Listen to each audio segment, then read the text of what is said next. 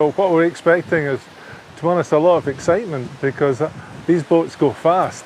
Hundreds of sailors are in Lee County this weekend for the Hobie 16 Worlds. It's like the World Cup for catamaran races. It's the first time in 35 years it's been held in the U.S. and the first time ever in Florida. Organizers are worried, though. They're hoping the red tide doesn't ruin their event. NBC2's Michael Raimondi talked to organizers today to see how they're preparing.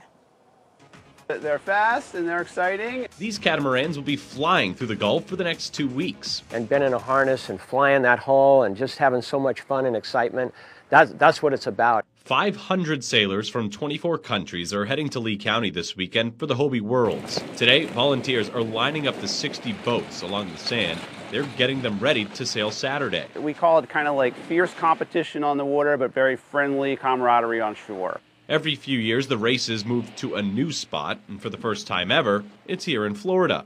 People from other countries are here to watch. So what we're expecting is, to be honest, a lot of excitement because uh, these boats go fast. But one thing that could slow them down, red tide. We've seen it around Sanibel and parts of Lee and Collier counties. I think it looks great today. Lori Maloney says the county is keeping organizers up to date every day on conditions they're hoping the toxic water stays clear of Captiva. Mother Nature throws curves at us all the time from different perspectives, and you know, if something happens, we'll just deal with it.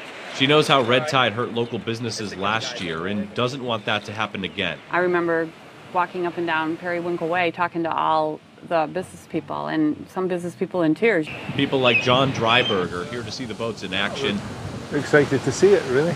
He's staying positive, hoping the conditions are clear. They'll be up on their edge and they'll, they'll be absolutely flying, so it'll be pretty exciting, really. Reporting on Captiva, Michael Raimondi, NBC2.